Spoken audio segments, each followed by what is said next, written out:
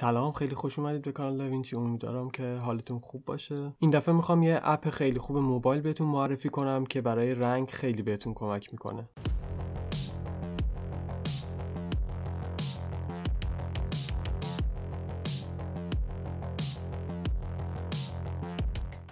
خب ما تو آخرین ویدیومون در مورد کتابی که پالت رنگی و این چیز اینجور چیزا رو معرفی می‌کنه و دربارش توضیح میده یه خورده صحبت کردیم. اگه دوست داشته باشید لینکش رو براتون می‌ذارم این بالا. بیشترین و بهترین استفاده که این app داره برای تشخیص رنگ. خب بریم رو صفحه موبایل که این برنامه رو بهتون معرفی کنم. خب اسم این برنامه هستش Color Picker خب برنامه رو که باز می‌کنیم همچین چیزی برای ما نمایش داده میشه. این تصویر زنده دوربین گوشی ماست.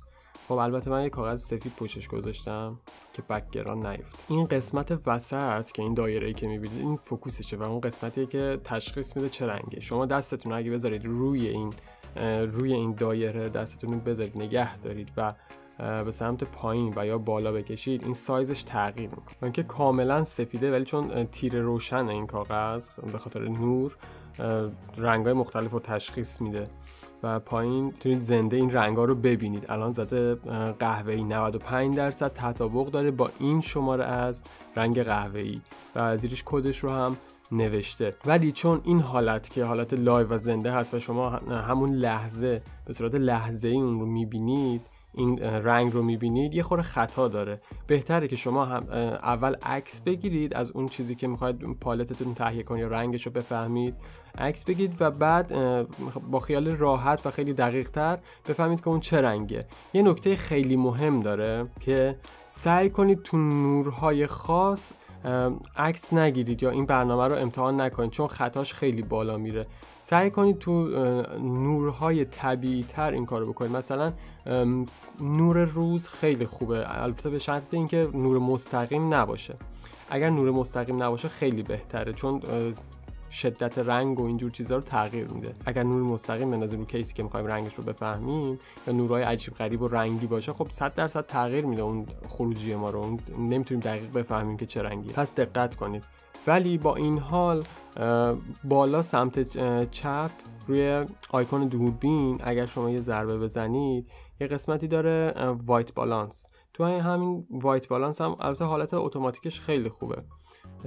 ولی مدای مختلف داره نور روز داره سایه رو داره حالت ابری نور روز رو داره لامپ های فلورسنت رو داره خیلی حالت های مختلفی داره.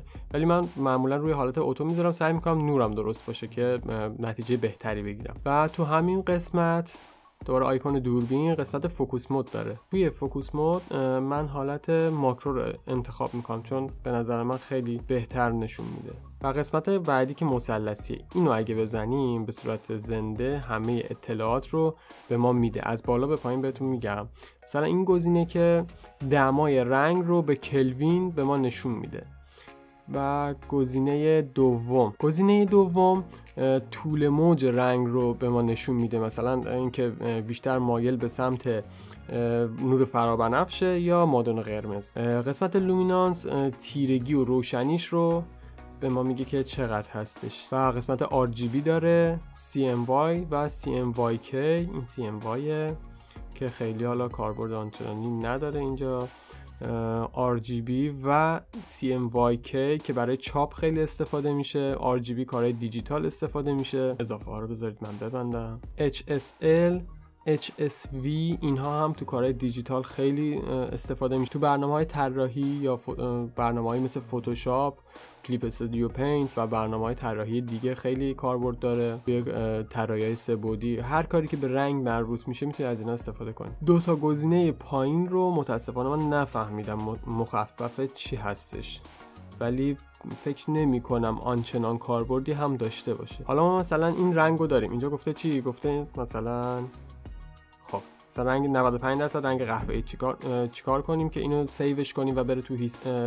توی history مون روی این قسمت پایین صفحه که همون درصد و کد رنگ و اینا رو نوشته یه ضربه می‌زنیم. یه ضربه که می‌زنیم این رنگ کپی میشه و میره توی قسمت history و می‌تونیم اونجا اطلاعات خیلی بیشتری ازش ببینیم و یه چیز کامل به ما توضیح داده. یه قسمت دیگه داریم که این سه نقطه تنظیمات گوشه برنامه هست. اوپن ایمیج هم داریم که ما می‌تونیم یه عکسی رو باز کنیم و رنگاش رو تشخیص بدیم که چی هستش. مثلا من می‌خوام رنگ این موسم رو بفهمم که چه نوع قرمزی هستش. قسمت های مختلفش نگه میدارم. البته چون من اینجا شدت نور و اینا تنظیم نیستش یه خورده ممکنه خطا داشته باشه. ولی تو نور مناسب حتما رنگ شبیه ترین و نزدیک ترین رنگ رو بهتون نشون میده. فکر می‌کنم که این قسمت رنگش از همه دقیق تر باشه. حالا بریم تو حالت بعدی که ما یه عکسی رو داریم. روی این گزینه سه نقطه می‌زنیم و اوپن ایمیج رو می‌زنیم. من این عکس رو باز کردم. می‌خوام بفهمم که این کتابی که حالت زرد و نارنجیه اسم رنگش چیه؟ چه رنگی استفاده شده توش؟ من اینجا البته اینجا focus نمیشه تغییر عکس رو جابجا جا می‌کنیم ما. خب عکس رو جابجا جا می‌کنیم یه خوردم بزرگش می‌کنیم عکس رو این به ما میگه که 97 درصد رنگ این کد رنگی هستش که زرده. و این قسمت پایین اگه بیام خب میگه سفید. خب جاهایی که خیلی نور شدیده نگاه کنید الان من اینجا بیام دوباره همون زرد هست. ولی تغییر کرده دیگه. یه جایی وایسید که نه نورش خیلی زیاد باشه نه خیلی کم. خب این به نظرم خوبه. یه ضربه روی این کد رنگی اون رنگ پایین می‌زنم پایین صفحه. و اینو برای من ذخیره می‌کنه. حالا میرم تو قسمت هیستوری. دو تا رنگ یکی که از قبل همون برگه کاغذ بود چون نورش تغییر کرده بود شبیه قهوه‌ای دیده می‌شد. یکی این زردیه که الان انتخابش کردیم.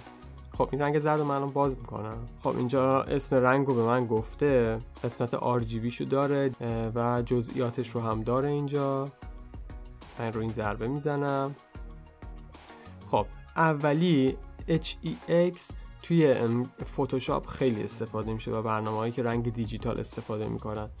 می‌تونید این کد رو تایپ کنید و دقیقا همین رنگ رو براتون باز می‌کنه. mode RGB ش رو هم نوشته CMY, CMYK تمام اطلاعاتی که تو حالت live داشت اینجا هم دارم. HSL, HSV, CIE ولی اینجا اگر بخواید این رنگ رو منتقل کنید به برنامهتون برنامه دیجیتالتون که می‌تونه مثلا فتوشاپ یا هر برنامه دیگه ای باشه کد اول خیلی مهمه.